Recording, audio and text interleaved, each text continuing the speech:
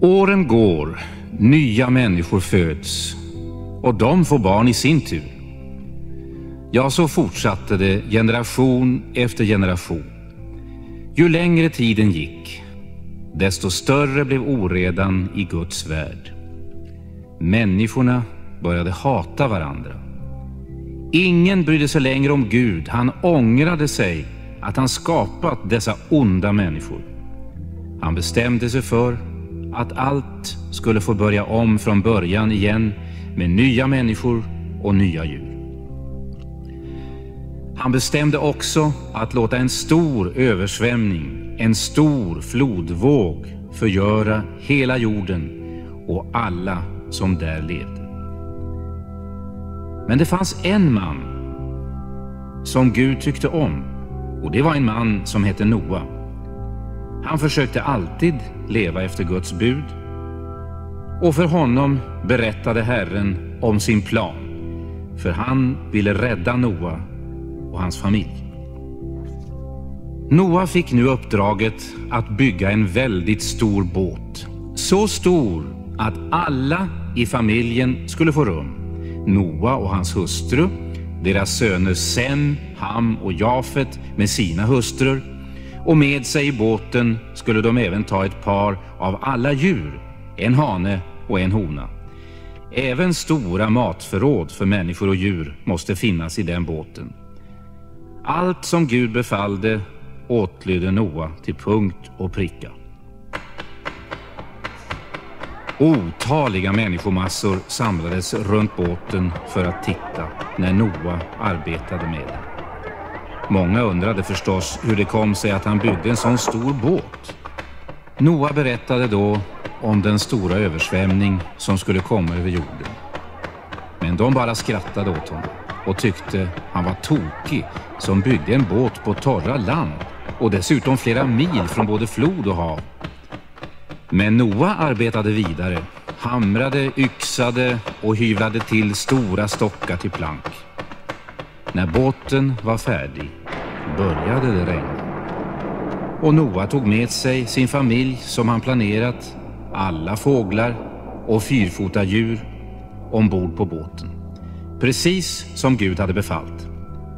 Regnet bara öste ner och det fortsatte dag efter dag.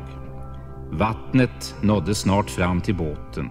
Det steg högre och högre och till sist var hela jorden täckt av vatten. Endast Noa och hans familj och djuren som han hade tagit med överlevde. Allt var tomt och ödsligt utanför. Världen hade blivit ett enda stort hav. Så småningom slutade regnet och vattnet började sjunka undan och Noas båt blev så småningom stående på en bergstopp. Noa öppnade försiktigt ett fönster och tittade ut för att se om det var tillräckligt torrt på land så att de skulle kunna lämna båten. Men han såg bara vatten, bara hav. Först släppte han på prov ut en korp, men korpen återvände inte. Så släppte han ut en duva men den kom tillbaka. Det var inte torrt nog för henne. Efter några dagar släpptes duvan ut på nytt och då kom hon tillbaka med ett friskt grönt blad från ett olivträd. Då visste Noa att vattnet nästan var helt borta. En vecka senare släppte han duvan för tredje gången men den gången kom den inte tillbaka. Vattnet hade nu verkligen sjunkit undan och jorden var torr.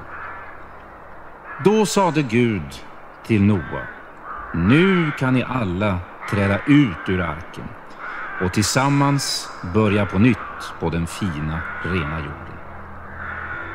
Det blev ett obeskrivligt tumult när djur och människor trängdes om varandra. Hästar gnäggade, kor råmade. Ja, alla förde ett förfärligt oväsen.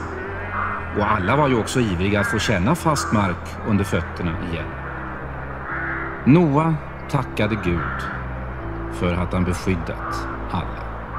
När man kommit till ro hjälptes man åt med att samla stenar som Noa lade i en stor hög. Det skulle bli ett altare där de offrade några djur som Gud bestämt för detta ändamål. Snart skingrades alla tunga moln på himlen. Solen började lysa på jorden igen och en underbar regnbåge mångfärgad uppenbarade sig på himlen.